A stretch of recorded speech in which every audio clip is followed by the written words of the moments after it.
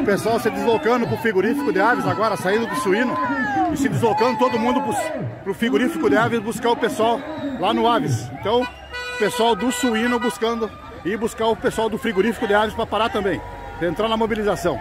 Isso é a luta, isso é a luta dos trabalhadores. Olha que bonito aí, ó. Olha que bonito.